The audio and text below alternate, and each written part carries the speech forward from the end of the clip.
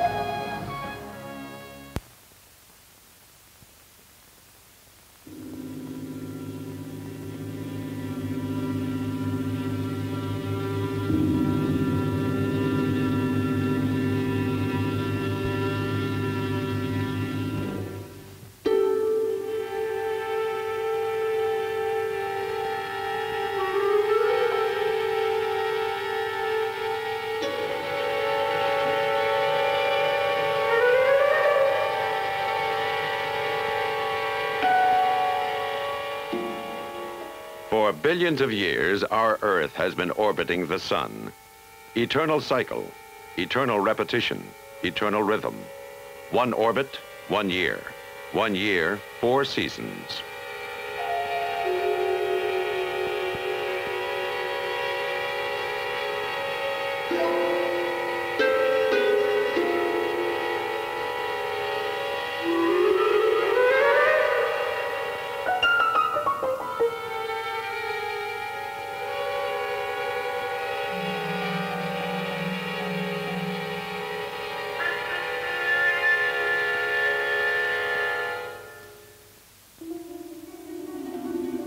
And for billions of years, as the Earth orbits the Sun, it spins on its own axis. Each full spin, one rotation, equals one day, two half days.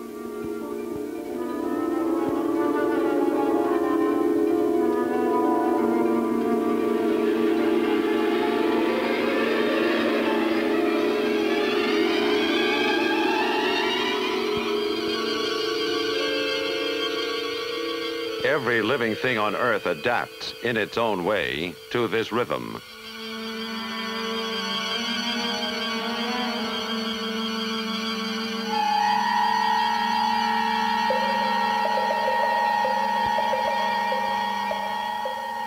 Night after day, day after night. Day and night follow each other in unending order.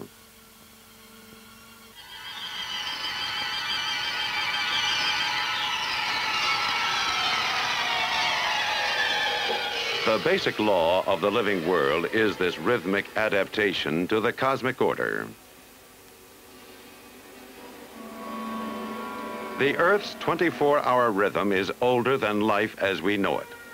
The study of this rhythm and its effect on the life's processes of both plant and animal life is a vital concern to modern man. How does the Earth's rhythm affect life? What would happen if we upset this rhythm? Can life exist and flourish with no or chaotic rhythms? Let's find out. The mouse is a nocturnal, night animal, active only at night. All its movements are relayed to recording instruments through a pneumatic tube system. All periods of activity and rest are registered and studied.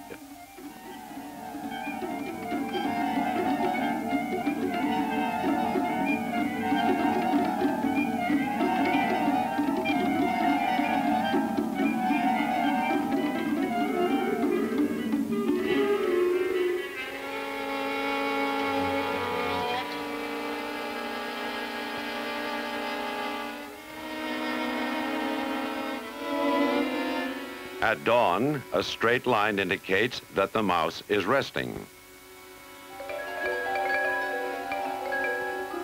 The Australian wild dog, the dingo, inherited the daytime way of life from its ancestors.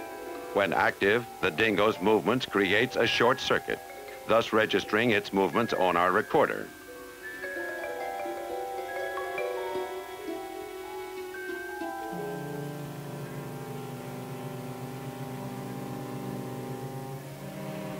During sleep, the body rebuilds and restores energy levels. Sleep or rest is vital to all life. The rat forages at night. Its life processes or metabolism are adapted to nocturnal life. When active during the night, its metabolism increases. These beakers register activity. Each beaker corresponds to one hour. Fluid levels are lowered during daytime hours, indicating less activity.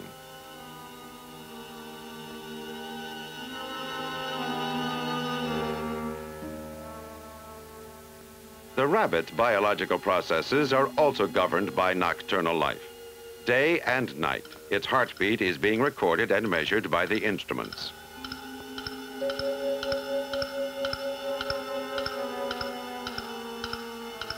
Though the rabbit is rendered motionless, its pulse frequency is higher at night and lower during the day, just as under natural conditions.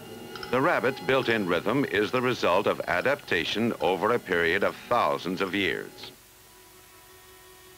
In plant life, the beanstalk provides an interesting counterexample with its external or outside rhythm. The leaves are stimulated by light and vary their position from day to night. If the plant is deceived by artificial light, the leaves will assume the daytime position in the middle of the night.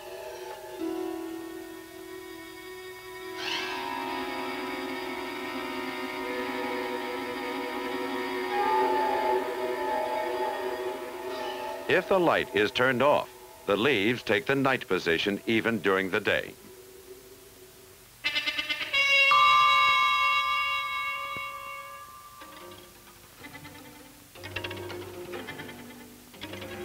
Although the hen has an inner rhythm, she adapts quickly to the regulating effects of light. We can reverse her cycle, causing the hen with some reluctance to accept evening for morning.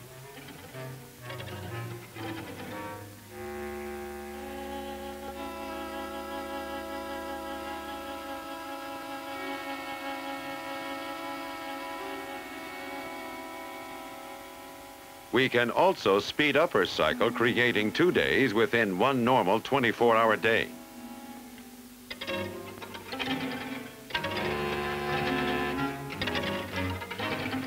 By thus fooling the hen, we double her egg production.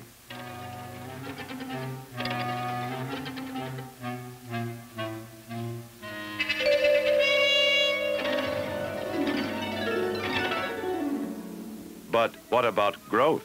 By doubling her days, will we stimulate growth? The chicken on the left lives a regular 24-hour day. The one on the right is awakened by light twice during this period. It sleeps twice as often, eats twice as much, and grows twice as fast. Large-scale meat chicken farming is based on this system. Faster growing is also coupled to faster aging.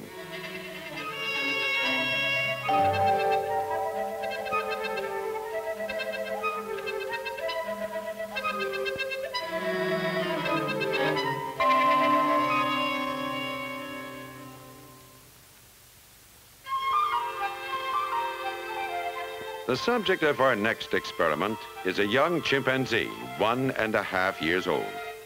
After several months of familiarization, she is gay and playful and in very good health. Her movement and breathing are measured by telemetric instruments in order to avoid interfering with her natural behavior.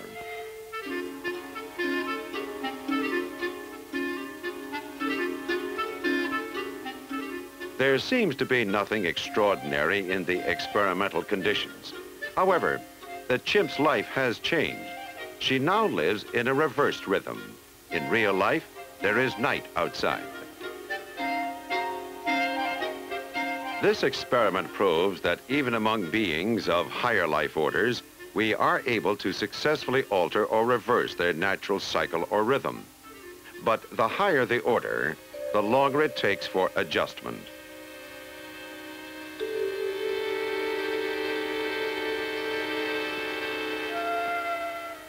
Under natural conditions, the chimpanzee lives 12 hours in daylight and 12 hours in darkness.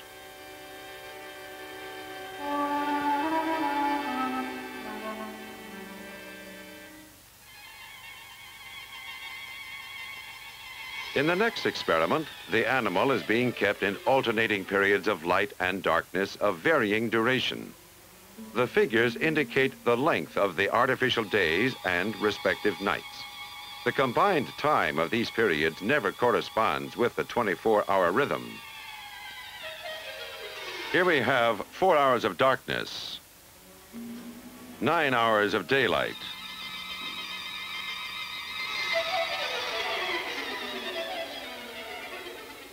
Eight hours of darkness.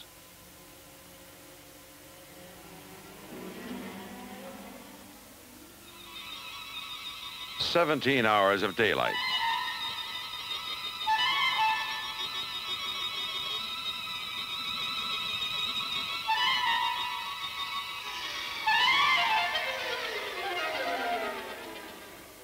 Five hours of darkness.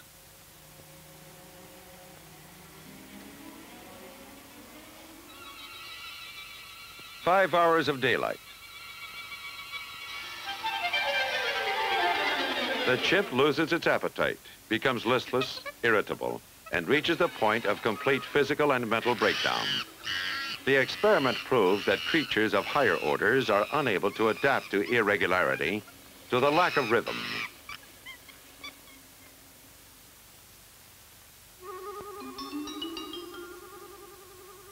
But what about plants? Can they adapt to a complete lack of rhythm? Will they thrive under constant light?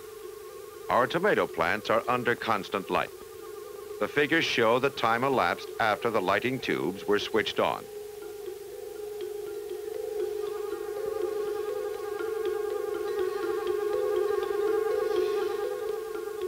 At first, the shower of constant light stimulates faster plant growth.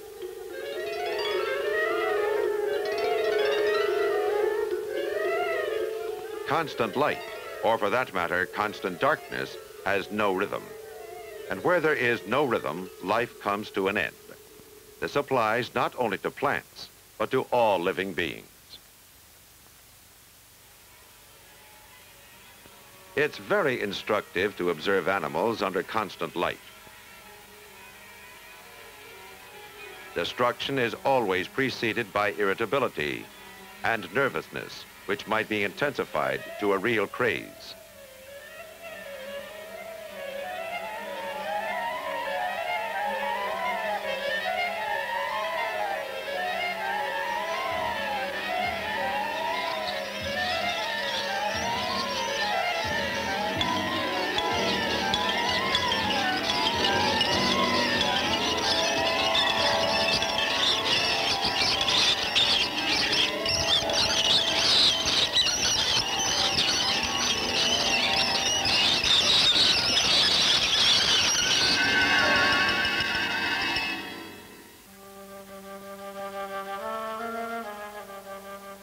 Mankind's problems concerning life rhythm were brought about by advanced technology. Artificial light made lengthening of daylight possible, made it possible to exchange day for night.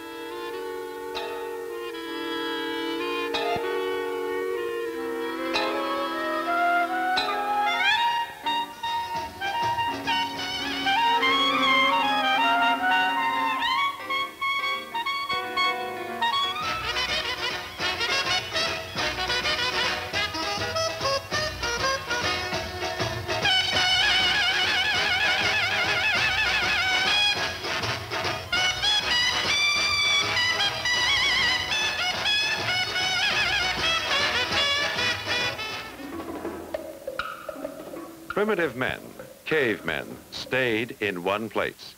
Their days and nights changed with regularity. They adapted without any difficulty to this rhythm.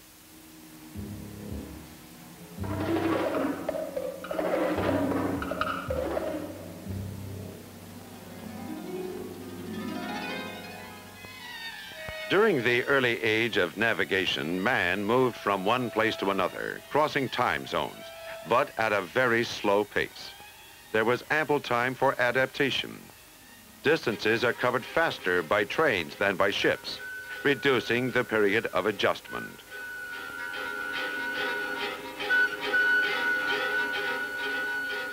The time of travel and of adaptation was further shortened by the advent of air travel.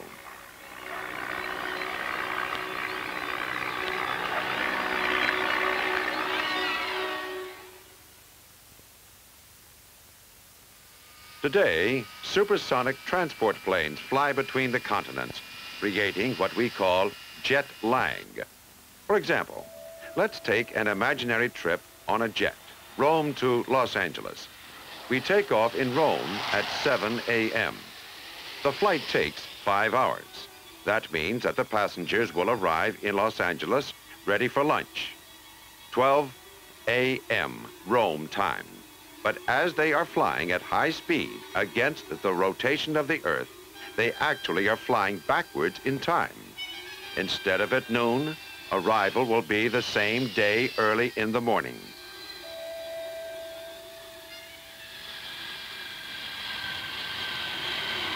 Not five hours after takeoff, but five hours before takeoff, or three in the morning, Los Angeles time. This is a nine-hour shift in the time from being awake or asleep. It will take weeks for your body to make the necessary adjustments to this new rhythm. And how about rhythm for the space traveler?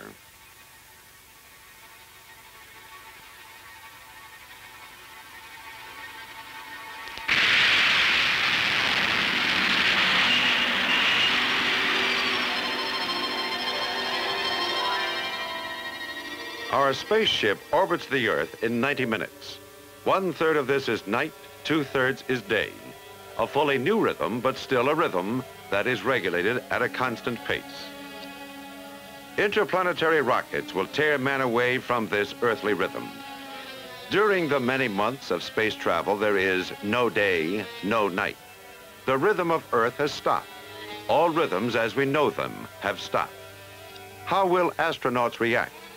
Our latest technology is asking these questions, and the answer is being looked for by the science of rhythm research.